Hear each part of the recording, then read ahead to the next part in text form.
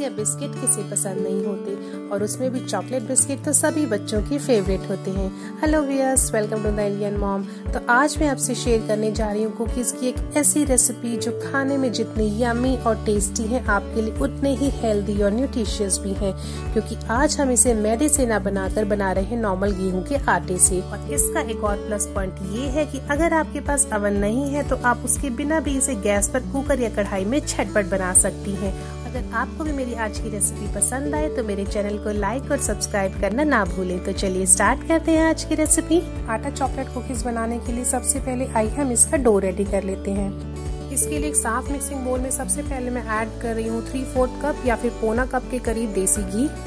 आप यहाँ पर घी की जगह बटर का भी यूज़ कर सकती हैं। और ध्यान रखिए कि इस घी को हमें नॉर्मल रूम टेम्परेचर पर ही लेना है। इसे मेल्ट करके हमें यहाँ पर यूज़ नहीं करना है। इसके साथ ही मैं इसमें ऐड कर रही हूँ एक कप पाउडर शुगर अगर आपके पास पाउडर शुगर नहीं है तो आप अपनी नॉर्मल शुगर को मिक्सी में चला लें, वो पाउडर शुगर बन जाएगी। आप यहाँ पर शुगर की क्वांटिटी को अपने टेस्ट के अकॉर्डिंग कम और ज़्यादा कर लें। अब इस घी और पाउडर शुगर को हमें इतना ज़्यादा ब्लेंड करना है, इतना ज़्यादा विस्क करना है की जब तक ये पफी और क्रीमी ना हो जाए। इसे अच्छे से मिक्स करने के लिए आप स्पेटुला विस्कर या फिर इलेक्ट्रॉनिक ब्लेंडर किसी का भी यूज़ कर सकती हैं, जिससे भी आप कंफर्टेबल हों।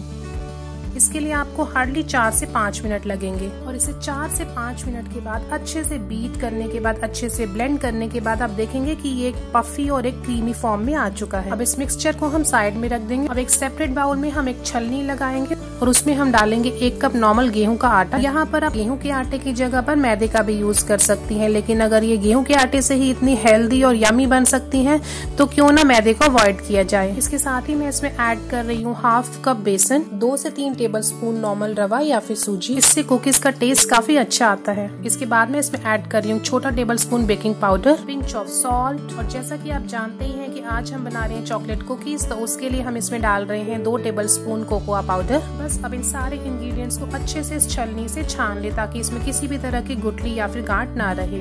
इस ड्राई मिक्सचर को आप थोड़ा थोड़ा सा करते हुए घी और शुगर के मिक्सचर में ऐड करें। थोड़ा थोड़ा सा मिक्सचर आप डालते रहें और इसे अच्छी तरह से मिक्स करते रहें। हमें इसे इतना मिक्स करना है, इतने अच्छे से मिक्स करना है कि एक डो फॉर्म में आ जाए। अगर यहाँ पर आपको इसका डो बनाने में प्रॉब्लम आती है तो आप थोड़ा सा घी इसमें और ऐड कर सकते हैं या फिर थोड़ा सा वार्म मिल्क ऐड कर लें। अब इस डो को थोड़ा सा पोर्शन हम अपने हाथ में लेके देखें और इसे दबाएँ। अगर इसमें इस तरह से मुठियाँ बनने लगती हैं तो इसका मतलब आपका जो डो का टेक्सचर है, वो बिल्कुल सही है। आपको इसको प्रॉपर डो जैसा नहीं नीट करना है, बस इसको डो फॉर्म में लाना है, ताकि हम इससे बॉल्स बनाकर इसकी कुकीज बना सकें। हमारा ये जो मिक्सचर है कुकीज बनाने के लिए रेडी हो चुका है। अब इस तरह से हम कोई स्पून या फिर कोई कच्ची लेकर उसमें थोड़ा सा इस मिक्सचर का पोर्शन डालेंगे। उसे हाथ से हल्के से इस तरह से प्रेस करते हुए इसे कुकीज की शेप दे देंगे। ऐसा करने से हमारी जो कुकीज का साइज़ है और कुकीज की जो शेप है, बिल्कुल एक जैसी आती है। आप चाहें तो इसे स्पून या करची की जगह पर अपने हाथ से भी बना सकती हैं। इसके लिए आप इसका थोड़ा सा पोर्शन अपने हाथ में इस तरह से लेते हुए,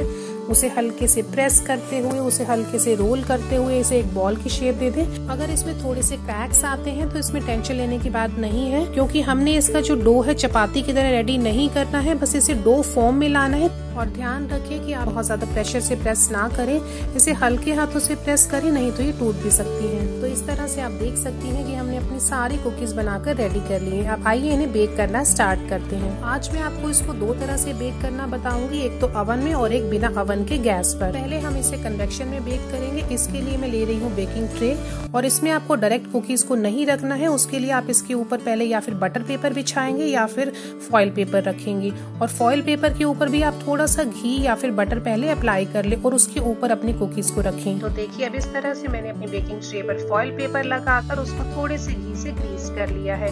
और अब अपनी सारी कुकीज को मैं इस पर प्लेस करके बेक कर लूँगी। लेकिन यहाँ पर भी आपको ध्यान रखना होगा कि आप सारी कुकीज को बहुत पास पास ना रखें उसे थोड़े थोड़े से गैप पर रखें। क्योंकि इन्हें बेक होने के लिए थोड़ा स्पेस चाहिए होता है। इसे बेक करने से पहले मैं इस पर थोड़े थोड़े से केशु गार्निश कर रही हूँ। इसके लिए आप इसे हल्का सा ऊपर से प्रेस करते हुए इसके ऊपर अपनी मनपसंद का कोई भी ड्राई फ्रूट गार्निश कर सकती हैं। इसे कन्वेक्शन में बेक करने के लिए आप अपने अवन या फिर कन्वेक्शन जिसमें भी आप बना रही हैं, उसे 10 मिनट के लिए 180 डिग्री पर पहले प्री हीट कर लें। तो यहाँ पर मैंने अपने कन्वेक्शन को पहले ही 10 मिनट के लिए प्री हीट कर लिया था और अब मैं इसमें 180 डिग्री का टेम्परेचर सेट कर इसे 20 से 22 मिनट के लिए बेक करने के लिए डाल दूँगी। यहाँ पर आप ध्यान रखें कि हर अवन और कन्वेक्शन की सेटिंग्स अलग अलग होती है और अलग अलग ब्रांड के होते हैं। तो इसको बेक करने में थोड़ा सा कम या ज़्यादा टाइम लग सकता है। तो जब तक हमारी कुकीज अवन में बेक हो रही है, उसके साथ साथ ही मैं आपको इसको गैस पर बनाना भी बता देती हूँ। इसके लिए सबसे पहले गैस पर एक कढ़ाई या फिर कुकर जिसमें भी आपको इसको बनाना है, उसे 10 मिनट के लिए पहले आप प्री हीट कर लें। अब जब तक हमारी कढ़ाई या फिर कुकर गैस पर प्री हीट हो रहे हैं उसके साथ ही हम इस तरह से एक प्लेट ले लेंगे। उसके ऊपर आप देसी घी या फिर बटर अप्लाई करें और ये घी और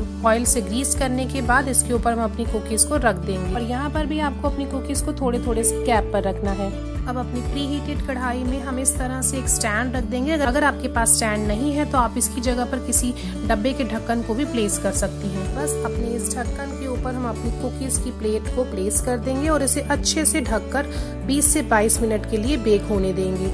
यहाँ पर गैस की फ्लेम रहेगी मीडियम टू लो। यहाँ पर आप ध्यान रखें कि बार बार आप इसका ढक्कन हटाकर कुकीज को चेक ना करें, क्योंकि इससे जो हीटिंग प्रोसेस है कम हो जाता है और कुकीज ठीक से नहीं बनती। तो अब 20 से 22 मिनट के बाद हम देखेंगे कि हमारी जो कुकीज है रेडी हो चुकी हैं और साथ साथ ही हमारी कन्वेक्शन में जो हमने कुकीज रखी थी वो भी रेडी है। आइए मैं आपको अपनी दोनों कुकीज दिखा देती हूँ। तो देखिए, ये कुकीज हमने कढ़ाई में गैस पर बनाई थी। देखिए कितना अच्छा कलर आया है और आपको देखने में लगेगा भी नहीं की आपने इन्हें घर पर बनाया है या मार्केट से लिया है। और ये कुकीज हमने बनाई थी अवन में। तो अब आप घर पर इजीली अवेलेबल बहुत ही बेसिक इंग्रेडिएंट से झटपट अवन या फिर गैस किसी में भी कुकीज बना सकती हैं। अब आप इसे दो से तीन घंटे के लिए रूम टेम्परेचर पर ऐसे ही बाहर ठंडा होने के लिए छोड़ दें। इसे अच्छे से ठंडा करने के बाद ही आप इसे एक एयर टाइट कंटेनर में स्टोर करें। क्योंकि ये ठंडा होने के बाद ही अच्छे से सेट होती हैं और मार्केट जैसी खस्ता बनती हैं। तो आज की हमारी यमी और हेल्दी सी आटा चॉकलेट कुकीज रेडी है। अब आप भी मेरे बताए हुए टिप्स और ट्रिक्स के साथ इस रेसिपी को ट्राई कीजिए और अपने एक्सपीरियंस मेरे साथ शेयर करिए। आज के लिए इतना ही, मिलते हैं अगली रेसिपी के साथ। तब तक के लिए टेक केयर बाय बाय